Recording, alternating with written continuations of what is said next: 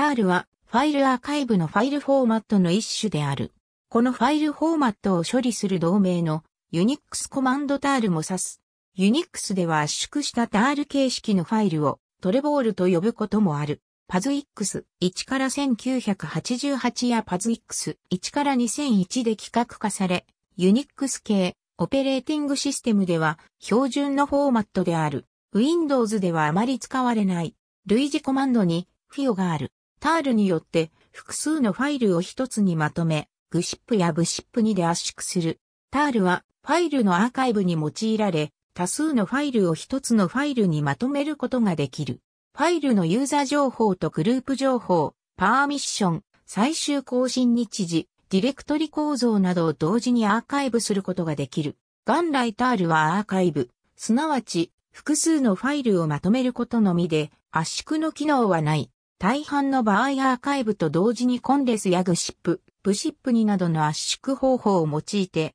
圧縮を行う。これにより、ファイルの拡張子はそれぞれ、タール、Z、タール、GZ、タール、BG2 となる。特に、タール、Z、タール、GZ は古くから使われておりそれぞれ略して、TAZ、TGZ とされることも多い。この形式はファイルが一部でも破損した場合、破損箇所に含まれていたファイル以降は取り出すことはできない。この欠点は FIO と GZ を使うことにより改善できる。以下は実際の圧縮、回答のコマンド例である。TAR-ZCVF ネーム、TAR、GZ ディレクトリー TAR-CVF、dev、NST レディレクトリー TAR、ZXVF ネーム、TAR、GZ TAR XVF、dev、NST レリスト表示したい。アーカイブファイルの先頭にテープを移動させた後、以下を実行 TAR TVF、dev、NST レータールコマンドはその名の通り磁気テープの操作が